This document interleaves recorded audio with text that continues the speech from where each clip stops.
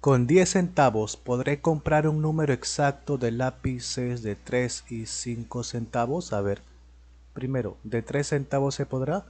No, ¿verdad? Porque 10 eh, si lo divides entre 3 no va a salir división exacta. En cambio, si cuesta 5 centavos cada lápiz y tienes 10 centavos, ahí sí, ¿verdad? Comprarías 2 y eso sale porque si divides 10 entre 5, queda 2.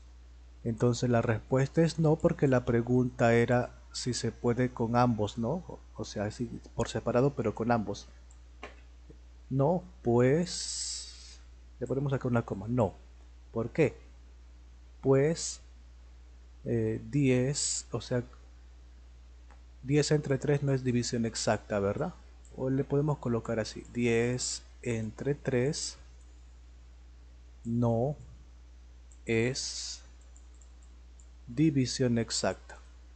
Como si lo es 10 entre 5. Pero este digamos que lo malogró, ¿verdad? Porque entre 3 no se podía. Y listo, ya falló con uno de ellos, por eso no. Ahí termina.